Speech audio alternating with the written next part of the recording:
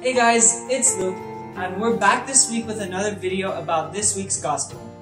This week's Gospel is from Matthew chapter 14, verses 22 to 33, and it talks about Peter and the other disciples being caught in a sea in a huge storm, and it talks about Jesus walking on water.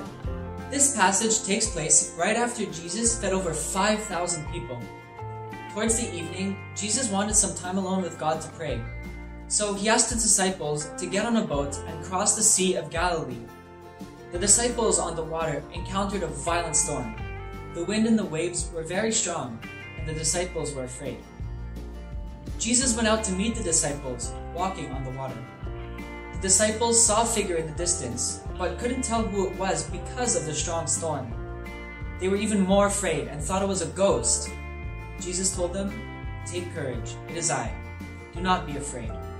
Peter, hesitant, replied, Lord, if it's you, tell me to come to you on the water. And Jesus told him to come. Peter got out of the boat and miraculously stepped onto the water and began walking toward Jesus. As he kept walking, he took his focus off Jesus, and he saw the big waves and felt the strong wind. And he began to feel afraid.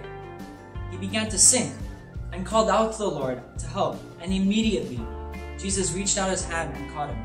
He told Peter, You of little faith, why did you doubt?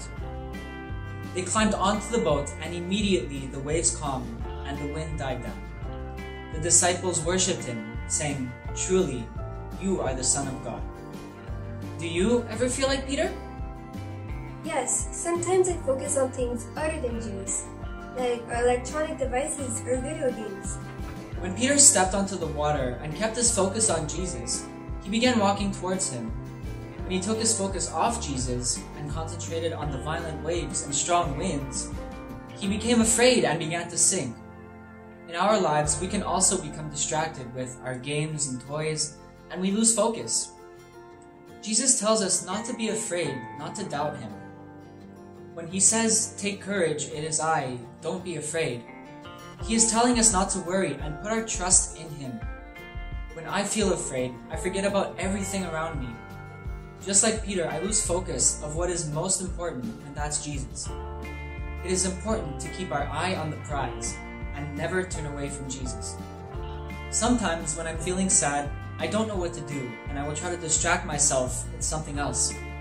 When I'm sad, I don't think of making time for Jesus in my life, and I go further away from Him. When I start praying and talking to Jesus, it helps me to refocus and come closer to Him. We have to remember that even if we are feeling sad, we can't turn away from Jesus because He is the one who will help us out when we are going through tough times. I have learned to take the time to talk to Jesus, whether I am sad or I am happy. Jesus shows the importance of taking the time to pray to God. It is important to keep a strong relationship with God.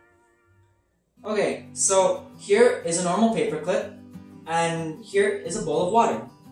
Looks pretty normal, right? So if I drop this paperclip into the bowl of water, it's gonna sink, right? Here, just like that. This first paperclip can represent us when we lose faith and trust. And like Peter, we will begin to sink. However, there is a way that we can make this paperclip float. So here are another two paperclips, same as the last one. If I bend this paper clip, like so, I could actually use it to gently place the second paper clip onto the water. So if I place it here, I could actually use it very gently, and it will float on the water. So this second paper clip represents Jesus and our trust and faith in Him. And if we stay focused and keep our eye on Jesus, He will guide us and help to keep us afloat. So to wrap it all up, it is important to always keep our eye on Jesus. We have to trust in Jesus that He will help us when we are afraid. It is important to not turn away from God, even when there are so many other things going on around us. And that's it for this video. Thank you so much for watching. If you enjoyed this video and you want to watch more, you could check out our last video about Jesus feeding the 5,000. Don't forget to like this video and subscribe to our channel for more content. Thanks again, and see you in the next one.